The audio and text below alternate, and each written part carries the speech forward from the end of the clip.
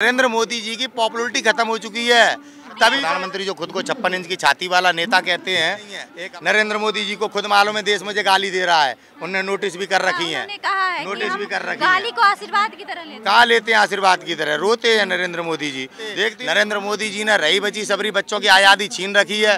बेटियाँ न्याय के लिए भटक रही है पुलिस वाले काम नहीं कर पा रहे हैं जज साहब फैसला नहीं सुना पा रहे हैं।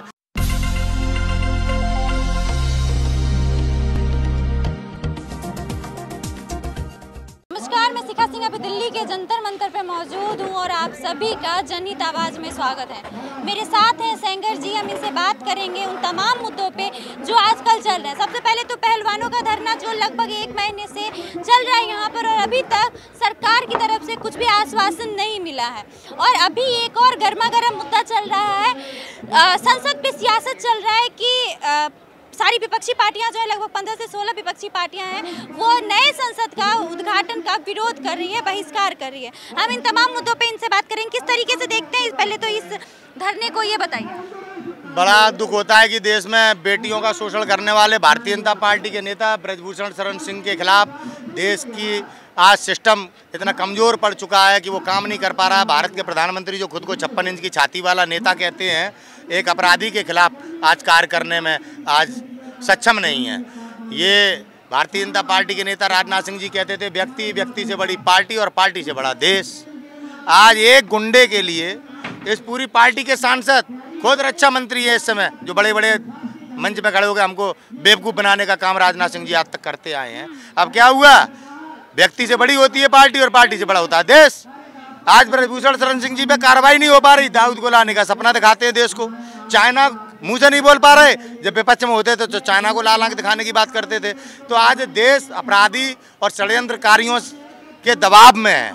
आज बड़े बड़े अधिकारी यहाँ तक कि चीफ जस्टिस ऑफ़ इंडिया काम कर पाने में सक्षम नहीं है। ये है नरेंद्र मोदी सरकार की वास्तविकता। आज गुंडों का साम्राज्य भारत के नागरिकों को प्रताड़ित कर रहा है। जिसे हम कहते हैं कि हिंदुत्व की सरकार है। ये है सच। ये है सच नरेंद्र मोदी की सरकार का। आपने तो कह लिया लेकिन आपने ये चीज़ देखा कि भारत अध्यक्षता कर रहा है जी ट्वेंटी में। अरे आप ये तो देखो ऑस्ट्रेलिया के प्रधानमंत्री के साथ खड़े हुए फ़ोटो खिंचवाया हाँ। हमारे देश में भेजे। अब ऑस्ट्रेलिया के नागरिक अपने प्रधानमंत्री का विरोध कर रहे हैं कि मोदी को क्यों बुलाया? पता है आपको उसी ऑस्ट्रेलिया ने डॉक्यूमेंट्री। ये चीज़ तो हमारे चैनल में आप देख लेना चैनल आप देखते ही नहीं हो आपको तो मोदी की वाहवाही करनी है नितिन सेंगर झूठ नहीं बोलता कभी। प्रमाणित तौर पे ही कहते हैं आज ऑस्ट्रेलिया के प्रधानमंत्री के खिलाफ ऑस्ट्रेलिया में आज हल्ला बोल हो रहा है। आप जाएँगे आप पता लगाइए नेट पे नेट है तो इंटरनेट चल तो रहा है।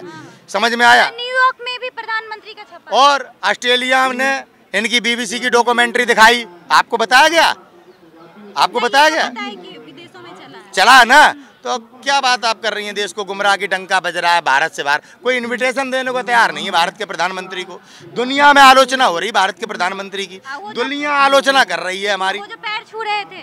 अरे वो तो हमारे देश के प्रधानमंत्री के तानाशाही रवैया की अहंकार है वो कि आप एक कमज़ोर देश के प्रधानमंत्री को इस तरह प्रताड़ित करेंगे इस तरह दबाव में लाएँगे कि वो दुनिया के सामने पैर छुए। किसी भी देश का राजा हम एक सनातन धर्मी देश है हमारा। हमारे देश की परंपराएँ हैं। हम कभी भी किसी भी देश के राजा के मान सम्मान के साथ खिलवाड़ नहीं करते। जिस तरह से अपने अहंकार में चूर एक छोटे से देश के प्रधानमंत्री से उन्होंने पैर छुलवा के दुनिया में खुद को महान बनाने का जो एक एक तरीका निकाला बड़ा दुर्भाग्यपूर्ण तरीका है। ये भारत के शासकों को शोभा नहीं देता मैडम। आप ऐसा बोल रहे हैं और वो दो दो बार से जीत रहे हैं सत्ता में आ रहे हैं। देखिए जो हम बोल रहे हैं वो सच है। सत्ता में आना एक बात है। सत्ता में आने के लिए उन्होंने किस प्रकार से झूठ बोला? कितने लोगों ने हमारे देश को गुमराह किया? आपके राम जेठमलानी कह रहे थे कि बहुत अच्छे नरेंद्र मोदी जी नेता हैं। आज सुप्रीम कोर्ट के जज कह रहे हैं कि लोकतंत्र खतरे में है। समझ में आई? बाबा रामदेव बड़ा इनको नेता बताते थे वो खुद चोर निकला। बाबा रामदेव जिसे हम बाबा मानते थे। आप देखो कितने टीवी चैनल इन्हें महान यानी बाबाओं की बात आपने कही तो धीरेन्द्र शास्त्री के बारे में आप क्या कहेंगे? चोर है इसमें किया सनातन धर्म को आप जैसे आप सनातन धर्म के बारे में बोल रहे हैं तो वो तो सनातन धर्म के चोर है इसमें किया पीने वाला लौंडा है वो तुम्हें बाबा दिखाई देता है मैं नितिन नहीं ठाकुर बोल रहा हूँ। इसमें किया है वो इसमें किया संतों को पहचानने की भी शक्ति नहीं बची। क्या भारत के नागरिकों में बड़ा सनातन धर्म सनातन धर्म चलाते हो? संत थे नरेंद्र गिरी महंत जिनकी हत्या हो गई योगी जी के मुख्यमंत्री रहते। अभी तक न्याय नहीं दिलवा पाए हैं। कहाँ मर गए सबरे संत? पालघर में महाराष्ट्र में दो संतों को मारते हैं तो यहाँ के सब गुंडे लफंगे संगठनों को दिखाई दे जाता है। और जब उत्तर प्रदेश के मुख्यमंत्री के शासनकाल में नरेंद्र गिरी की हत्या होती है महंत की तब एक भी संगठन की आँखें नहीं खुल रही। इस तरीके के षड्यंत्रकारी इन संगठनों को समझते हो जो हमारे राजपूतों को बदनाम किए हैं? ऐसे संगठनों के कारण आज देश कितने गड्ढे में चला गया। आज ये बेटियाँ राजपूत वर्सेस जाट कर रहे हैं। कौन कर रहा है राजपूत जाट कि ये काम बीजेपी का है। हाँ। हमारे समाज को किस तरीके से गंदा किया है भाजपा ने और आरएसएस ने वो आपको बता रहे हैं। महंत नरेंद्र गिरी की हत्या पे क्यों नहीं बोल रहे वो लोग?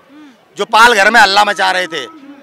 मैं पूछना चाहता हूँ मनीष सिसोदिया को पुलिस इस तरह से बेइज्जत करके घसीट के ले गई?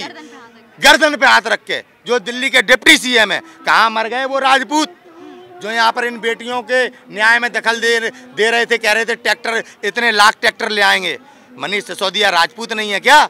वो तो महाराणा प्रताप के वंशज हैं। सिसोदिया ठाकुर हैं। महाराणा प्रताप भी सिसोदिया थे। कहाँ गया गोगामणि क्यों नहीं आता आज मनीष सिसोदिया के लिए? और एक अपराधी बलात्कारी के लिए कहता है, ट्रैक्टर ला देंगे। ये राजपूत नहीं है। ये डायरेक्टरों से रिश्वत लेते हैं अपने संगठन के नाम पे। हमारे राजपूतों को अपने साथ खड़ा करके। कीमत वसूलते, मुकदमे लगते हमारे भाइयों पे। आज हमारे समाज को ऐसे संगठन चोर अध्यक्षों से बचना पड़ेगा। कह रहे एक बार फिर से मोदी सरकार आएगी। अरे किसी के कहने से आएगी क्या? अभी तो कर्नाटक में भी आ रही थी। देश जब बना बेवकूफ़ तब बन गया। जे थाली बजाने वाले ही लोग बैठे हैं यहाँ पे जे। जो आज बेटियाँ आज लड़ रही हैं ना और जितने भी लोग हैं सुन लो हाँ, हाँ। जी साहब और जो किस- किसान जो बैठे थे हाँ। धरने पे जी साहब थाली बजाने वाले थे अब आँखें खुल गई हैं इनकी। तो कर्नाटक में जिनकी सत्ता है उनका आप समर्थन करते हैं जैसे संसद को उन्होंने गौमूत्र से धोया है। बिल्कुल। ऐसे लोगों के जाने पे धोना चाहिए। जब ये लोग अखिलेश यादव जी के सरकार के बाद योगी जी धो सकते हैं तो ये तो बहुत ज़्यादा गिरे हुए लोग हैं। धर्म का दिखावा ये करते हैं, हिंदू मुसलमान करके ये लोगों को लड़ाते हैं, देश में अराजकता फैलाते हैं। इन जैसे लोगों से तो देश को बचाना चाहिए, जिनके हाथों में आज हमने देश की सत्ता दे दी है, बिल्कुल धोना चाहिए। आज देखो संसद भवन के नाम पर कैसे बाबा भीमराव अंबेडकर के संविधान की धज्जियाँ उड़ाई जा रही हैं। और आज एक भी बहुजन समाज का नेता है जो इस संविधान की ताकत से नेता है जो आज बाईकाट करने की हिम्मत रखता है। नहीं सिर्फ़ वही नहीं डीयू के प्रोफेसर ने भी हल्ला बोल दिया है भीमराव के चैप्टर पे। कहा है अननेसेसरी चीज़ों को हटाओ। देखिए ये लोग जो लोग अपने लिए कुछ नहीं कर पा रहे हमारे संविधान पे उंगली आसान उठा देना। गांधी को गाली देना आसान है। आज जज साहब अपनी बात नहीं बोल पा रहे देश के सामने। आज एक आईपीएस अपनी ड्यूटी नहीं कर पा रहा। गांधी को तो गाली कोई भी दे सकता है। गांधी जी तो आज ज़िंदा होते तो उन्हें गाली देते तो वो बुरा नहीं मानते। सीधी बात तो ये है अब अपने लिए नहीं लड़ पा रहे। अपनी बेटियों को न्याय नहीं दिला पा रहे। मोदी जी को भी तो गाली देते हैं तमाम लोग गाली देते हैं। वो कहाँ कुछ कह रहे हैं? सुन रहे हैं बेचारे। कौन? मोदी जी। मोदी जी को कौन देता? मोदी जी उल्टी देते हैं कभी कहते दीदी ओ दीदी कांग्रेस की विधवा मोदी जी किस तरह के शब्दों के उपयोग करते हैं? एक बार भी कहा था। आज समझ में? और आप कह रही हैं कि मोदी जी को कोई गाली देता है। उनके तो कर्म खराब है मोदी जी के तो। देश की जनता से झूठ बोला उनने। धोखा किया। कहाँ है किसान की दो गुना है? कहाँ दो करोड़ रोज़गार? आज बच्चे पढ़ नहीं पा रहे। तीस लाख स्टूडेंट इस देश से बाहर पढ़ने गए हैं। स्किल इंडिया बनेगा स्किल रहेगा तब तो आपको क्या बकवास करते रहोगे? कब तक भुखमरा इंडिया हो गया? अब तुम्हें स्किल इंडिया दिखाई दे रहा है। पाँच ट्रिलियन अर्थव्यवस्था की सपने दिखा के आपने हंगर इंडेक्स में हमें पाकिस्तान से नीचे पायदान पे ले जाके रख दिया तो मीडिया वाले पता नहीं क्या दिखाते रहते हो? तुमने तो कसम खा ली है कि मोदी का प्रचार करोगे मोदी को महान बना के मानोगे। प्रचार से महान नहीं बनते चरित्र से महान बनते हैं मैडम। विवेकानंद जी का चरित्र था महात्मा गांधी जी का चरित्र था सुभाष चंद्र बोस जी का चरित्र था इनको अखबार में किसी ने महान नहीं बनाया था। द्रौपदी मुर्मू को नहीं बुलाया जा रहा है। बड़ा दुखद है काला दिन है अट्ठाईस मई संसद का जो उद्घाटन नरेंद्र मोदी जी कर रहे हैं, ये देश के संविधान की आत्मा पर सीधे तरह से चोट है। देश के प्रत्येक नेता को इसका विरोध करना चाहिए। प्रत्येक देश की राजनीतिक दल को इसका विरोध करना चाहिए। ठीक है? और इस उद्घाटन में नहीं जाना चाहिए।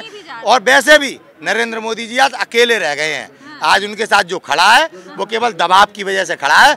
आने वाले दिनों में अगर इन्होंने दबाव में आने वाले लोगों ने अपनी चुप्पी नहीं तोड़ी तो ये भी मिट जाएँगे, बर्बाद हो जाएँगे। कुछ नहीं बचेगा। आज हमें लड़ना पड़ेगा बोलना पड़ेगा। तो एक तरफ़ कहा जाता है कि हर हर मोदी घर घर डर मोदी के आगे जीत है। कोई हर हर मोदी कोई घर घर मोदी नहीं है। नरेंद्र मोदी जी को खुद मालूम है देश मुझे गाली दे रहा है। उनने नोटिस भी कर रखी है। उन्होंने कहा है नोटिस भी कर रखी गाली को आशीर्वाद की तरह लेते कहाँ लेते हैं आशीर्वाद की तरह? रोते हैं नरेंद्र मोदी जी। देखती नहीं हो कितना रोए हैं। आज तक अगर उनकी नोटिस करोगे ना रोने वाली नौटंकी कोई बहरूपिया नहीं इतनी अच्छी तरीके से कर पाएगा जैसे हमारे देश का प्रधानमंत्री एक्टिंग करता रोके। नोटबंदी में देखना भैया। टाइम मांगने के लिए कैसे भैया रोता कैसे हमारा प्रधानमंत्री? देख के चमत्कार अमिताभ बच्चन नहीं रो पाएगा बागवान में। अमिताभ बच्चन बेचारा रोया, वो भी फेल है। एक्टर तो मोदी जी इतने ग्रेट है, तभी तो देख रही हो। ऑस्ट्रेलिया गए, कोई प्रधानमंत्री, कितने लोग आए जी सेवन की बैठक में? किसी के फ़ोटो देखे आपने ट्विटर पे? अपना मोदी तो बस टॉयलेट जाते वक्त फ़ोटो नहीं डालता है। बाकी तो सब फ़ोटो हेयर स्टाइल कैसा हो रहा है, क्या? नेहरू जी बनना चाह रहे हैं। अरे खानदानी रईस थे, नेहरू जी चाय वाले नहीं थे। समझ में आई? चाय वाले से क्या दिक्कत है? गरीब नेता नहीं बन सकता क्या? बन सकते हैं लेकिन अगर कोई गरीब इस तरीके से दूसरे की बराबरी करना चाहे वो गरीब नहीं है। वो बराबरी करना और क्या साढ़े आठ हज़ार करोड़ का बेमान क्यों लाए? भाई वो तो पढ़े लिखे थे वकील थे नेहरू जी। उनके पिताजी भी वकील थे। देश को दाम दे के गए अपनी जमीनें। समझे? आज राहुल गांधी जी पे घर नहीं है। ये तो आपने गलत कहा। अगर हम सपना देख रहे हैं अगर हम गरीब माँ के बेटे हैं तो क्या हमारा अधिकार नहीं है प्रधानमंत्री बनने सिलेंडर तुम साढ़े ग्यारह सौ कर दोगे गरीब हो तुम तो है? है। चप्पल पहनने वाले को तुमने हवाई जहाज़ में सपना बैठाया घुमाने का अब रोटी भी छीन ली तुमने उससे। है? मतलब कैसे गरीब हो तुम? अमीर किलो राशन तो मिल। अरे हाँ। अमीरों को देश दे दिया पूरा। हमारे देश का जितना पैसा जमा था सब उद्योगपतियों के कर्जे माफ़ कर दिए तुमने। अब पीएफ मजदूरों का पैसा लगा दिया। अभी जब इनकी हिंडनबर्ग की रिपोर्ट से अडानी की जब हालत पतली हो गई तो गरीब मजदूरों को ही पैसा दे दे रहे हो। भाई उद्योगपतियों से पैसा ला के गरीबों को देते तो तो हम मानते तुम गरीब हो। झूठा आदमी है कहाँ गरीब है? मुख्यमंत्री पंद्रह साल रहने के बाद प्रधानमंत्री बना। तुम कह रहे हो गरीब हो। तुम्हारा चश्मा ही खराब है। तुम सच देखना ही नहीं चाहते। तुमसे तो बात वो करे जिसके सिंग निकल रहे हो। पचहत्तर रुपए का सिक्का आ रहा है अभी नए संसद भवन के। क्या करें? दो हज़ार का दो हज़ार का नोट भी आया था। चिप भी तो लगा था। वही तो कह रहा ढूंढो। फिर क्या के लिए बंद करना पड़ रहा है? कब तक उल्लू बनोगे? अब वो पिछहत्तर रुपए का सिक्का चला रहे भैया पिछहत्तर रुपए के सिक्के से क्या उखड़ेगा? क्या ज़रूरत है पिछहत्तर रुपए की? फालतू में ही बना दे रहा है अगला आदमी। पिछहत्तर रुपए का सिक्का। है? बनाना था भैया सौ का बनाता दो सौ का बनाता। सौ का तो सौ सौवा का भी सिक्का आप लोग को मालूम नहीं है। आप लोग इतना बुराई कर रहे हैं कि आप लोग को दिख ही नहीं रहा है। सौवीं जब मन की बात का सौवा एपिसोड पूरा हुआ था तो सौ का सिक्का भी लॉन्च किया था। भैया ये फालतू बने के काम क्यों बता रहे हो? देश में देखो रोज़गार की ज़रूरत है। महँगाई से पकौड़ा तलिए और इन्हें प्रधानमंत्री बना के देश बिकवाएँ हम लोग पकौड़ा तलें। हमारी मेहनत के और खून पसीने की कमाई जे लूटे। हैं? जे लूटे अंदर हमारी टैलेंट भी तो होना चाहिए सिर्फ़ नौकरी मांगने से होता है क्या? अच्छा मतलब टैलेंट इनमें ही है। इन्हें हमने प्रधानमंत्री बना के जो भूल कर दी कि अब हम लोगों में टैलेंट ही नहीं है। हैं? टैलेंट ही नहीं है। देख लो आप अरविंद केजरीवाल कहते हैं चौथी पास राजा। ये सब गलत है ना तो मोदी जी ने खुद बोला कि मैं पढ़ा लिखा नहीं हूँ इसलिए आगे बढ़ गया हूँ। तुम तो फालतू बात अरे हम टीवी पे दिखाएँगे चैनल पे बोला। उनसे पूछा कि तुम पढ़े कितने हो? कि मैं तो बस स्कूली शिक्षा जाने के बाद मैं तो पढ़ा लिखा नहीं इसलिए मैं आगे बढ़ गया बड़ी ताली बजा रहे थे तुम लोग। हैं? राहुल गांधी की बराबरी करने के चक्कर में वो अमित शाह तड़ी पार उसे कुछ आता तो है नहीं। गांधी से कौन बराबरी करना चाहता राहुल गांधी को पप्पू कहते हैं। भैया वो दुनिया की सर्वश्रेष्ठ यूनिवर्सिटी कैम्ब्रिज का पढ़ा हुआ है। ब्लैक बेल्ट आदमी है इनकी तरह फकीर नहीं है। वो राहुल गांधी जी हैं प्रचार से उसको पप्पू बना रहे थे बना पाए क्या? हज़ारों करोड़ रुपया लगा दिया साहब। एक सच्चे आदमी को पप्पू बनाने में। आज देखो उनका चरित्र, सामने किसी के चरित्र को बदनाम नहीं कर सकते, बहन जी। याद रख लेना। अब क्या राहुल गांधी जी कैम्ब्रिज यूनिवर्सिटी से पढ़े, तड़ी पार ने मोदी जी का खास बनने के लिए कि मोदी जी भी बहुत पढ़े लिखे हैं। हम नकली मार्कशीट दिखा रहे हैं, अब रट्टा पड़ा फिर रहा है। ये तो सच्चाई है। ये तो सच्चाई है, जबकि मोदी जी भैया झूठ नहीं बोलते। उनने कह दी, मैं तो नहीं पढ़ा लिखा हूँ। हाँ अब जो अमित शाह का लोचा है जैसे बेचारे टांगे घूम रहे हैं। क्या बोले अब वो? भाई हिंदी नहीं पढ़ पाता अगला लेकिन आदमी। लेकिन आप एक चीज़ तो माने कि 2014 के बाद से सबका साथ सबका विकास हुआ है। Ayushman Bharat digital India skill India और डेवलप इंडिया बन रहा है। 2014 के बाद यूनिवर्सिटी फोड़ दी बीएसएनएल बेच दिया शिक्षा बंद हो गई सबरी। बच्चे सड़कों पे आके अपनी मांगे नहीं रख सकते। नरेंद्र मोदी जी ने रही बची सबरी बच्चों की आज़ादी छीन रखी है। बेटियाँ न्याय के लिए भटक रही हैं पुलिस वाले काम नहीं कर पा रहे हैं जज साहब फैसला नहीं सुना पा रहे हैं। ईडी बेचारी आरएसएस बन गई है काम नहीं कर पा रही है। भैया बड़े दुखी हैं देश में लोग नरेंद्र मोदी जी से छुटकारा पाने के लिए। आज चौबीस में जनता एकमत वोट करेगी नरेंद्र मोदी जी के नाम को तो वोट नहीं निकलेगा देश में। टेलीविज़न में एक वो, किया गया समीक्षा किया गया है जिसमें दिखाया गया है कि राहुल गांधी को कितना पसंद करते हैं और मोदी जी को कितना पसंद करते हैं। तो मोदी जी को छियालीस प्रतिशत पसंद करते हैं और राहुल गांधी को तीस प्रतिशत। क्या भाई मीडिया? अडानी जी का खरीदा हुआ कल भी तो एक पत्रकार ने बेचारी ने इस्तीफा दिया है एनडीटीवी से। तो तुम ये सच नहीं देख रही? अगर वो पत्रकार सही बता देती कि मोदी जी को पाँच परसेंट लोग पसंद कर रहे हैं तो, तो समझ लो उसको फिर कुछ भी हो सकता था। नरेंद्र मोदी जी की पॉपुलरिटी खत्म हो चुकी है। तभी तो इधर क्यों उधर करेंगे? ऐसा वो क्यों करेंगे? वो ज़मीन से उठे हुए नेता हैं। तभी तो मन की बात सुनाने के लिए पूरे देश के प्रशासन को सब काम छोड़ के कि हमारी मन की बात सुनवाओ। गांधी जी ने कभी ऐसे कही कि हमारे संग चलो वो तो खुद चल दिए नमक की तरफ़ देश आप पीछे चल दिया। उन्होंने नहीं कहा कुछ स्कूल के बच्चों को सस्पेंड कर दिया गया जब मन हाँ, की बात हाँ, नहीं सुनी। तो। हाँ, जब इसे पॉपुलर कहते। हैं राहुल गांधी जी कभी ऐसा करते हैं क्या? या कांग्रेस ने सत्तर साल में ऐसा कभी दबाव बनाया कोई? बताओ। भैया कोई नहीं सुनना चाहता मन की बात सब पक गए लोग। कहते हैं कांग्रेस बीजेपी माँ बेटा है। कैसी बात करते हो? कांग्रेस देश की आत्मा है। कांग्रेस ने हमें रोज़गार दिए कांग्रेस ने हमारे भविष्य बनाए कांग्रेस ने इस भारत को जिसका दुनिया में मज़ाक उड़ाया जाता था उसमें सर्वश्रेष्ठ भारत एक लोकतांत्रिक देश है कांग्रेस ने सिद्ध किया। गांधी परिवार के नेताओं ने इस देश को दुनिया में गौरवान्वित किया। है नरेंद्र मोदी जैसे ना जाने कितने लोग आए और चले गए। खाम खाम की बातें करके जो सच्चाई है वो आपके सवाल आखिरी सवाल सेंगर जी आपने ये प्रदर्शन देखा है धरना देखा है बेटियों का। और ब्रिजभूषण शरण सिंह इनको मंत्रा कहते हैं विनेश फोगाट को मंत्रा कहा है। आप इस पे क्या कहना चाहेंगे और इसी से हम लोग अपना बातचीत नरेंद्र मोदी जी की नाकामी और प्रशासन की नाकामी है जो एक अपराधी हमारे देश की उन बेटियों को निरंतर टारगेट कर रहा है जिन बेटियों ने भारत के तिरंगे का गौरव तिरंगे को दुनिया में गौरवान्वित किया। ठीक है? बता तो रहे जब देश का प्रधानमंत्री कांग्रेस की विधवा बोलेगा सती है हमारी वो शादी नहीं की है ममता बनर्जी ने। उनको दीदी हो दीदी बड़ मोटा पहन लो। है? किस तरीके की बात? सोनिया गांधी जी एक विदेशी हो के जिनने भारत की परंपराओं को निभाया आज तक गांधी परिवार की इज़्ज़त के साथ भारत की सभ्यता संस्कृति के साथ रह रही हैं अंग्रेज़ होकर उनको कांग्रेस की विधवा कहना ऐसे लोगों की बातों पर आप मुझसे टिप्पणी ना लें। तो एक और एक और आखिरी सवाल।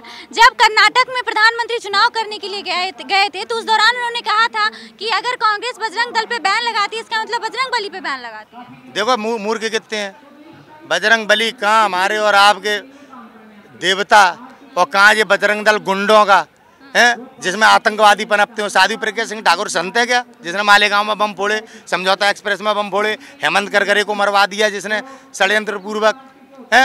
आप इनको भगवान मानते हैं। सिद्ध तो नहीं है। अब बजरंग बली और बजरंग दल मतलब एक दल गुंडों के संगठन हमारे उत्तर प्रदेश में सुबोध सिंह एसआई की हत्या करने वाले बजरंग दल के लोग दंगा गुंडे करने वाले अभी यहाँ जेएनयू में गुंडागर्दी करी बेटियों को मारा बजरंग दल के लोग। तो कांग्रेस ने ही उसको अगर कांग्रेस ने पहले बैन कर दिया होता तो ये इतना नहीं होता। देखिए अब कांग्रेस के ऊपर ठीकरा मत फोड़िए। अब कर रहे हैं ना कर्नाटक में आने वाले समय में आरएसएस को इस देश में प्रतिबंध अगर नहीं करेंगे हम तो भारत कभी आगे नहीं बढ़ पाएगा। कभी भारत दुनिया में विश्वगुरु नहीं बन पाएगा। आरएसएस को प्रतिबंध करके ही हम आगे बढ़ सकते हैं क्योंकि हमारे देश में जो कुछ भी है अराजकता फैलाने वाले और देश के प्रति षड्यंत्र करने वाले वे आरएसएस के लोग हैं जो आज सत, देश की सत्ता के सभी महत्वपूर्ण पदों पर बैठे हुए हैं। आज वही प्रमुख वजह है कि देश का आज सिस्टम काम नहीं कर पा रहा है ना न्यायपालिका ना कार्यपालिका। और आपके सामने 28 तारीख को देखिए देश के राष्ट्रपति का आज किस तरीके से अपमान हो रहा है भारत में ये आरएसएस की देन है। कहीं वो मतलब आदिवासी है कहीं इसके लिए तो नहीं? कुछ भी हो, राष्ट्रपति के पद पे बैठी हैं, वो आदिवासी कहाँ हैं? अब आप उनको आदिवासी नहीं कह सकती, आप उनको मुसलमान नहीं कह सकती, अब आप उनको हिंदू नहीं कह सकती, आप उनको, आप आप राजपूत नहीं कह सकती, वो देश की राष्ट्रपति हैं। राष्ट्रपति की कोई जात नहीं है, ना प्रधानमंत्री की कोई जात है, ना मुख्यमंत्री की कोई जात है, आप राजा हैं। आप उनको इस तरह टारगेट नहीं कर सकते, अगर आप देश की बात करते हैं तो। इस बात को समझना पड़ेगा। उनका अपमान हमारे भारत का अपमान है। बहुत बहुत धन्यवाद सेंगर जी, आपने हमारी बात सुनी, इन्होंने बहुत तरीके से अपनी बात रखी है, लेकिन लगातार इन्होंने बीजेपी पे हमला किया है और मोदी जी के बारे में बहुत कुछ कहा है। आप कितने सहमत हैं, कितने असहमत हैं इनकी बातों से, हमारी बातचीत से? अपनी राय कमेंट बॉक्स में ज़रूर दीजिएगा, धन्यवाद।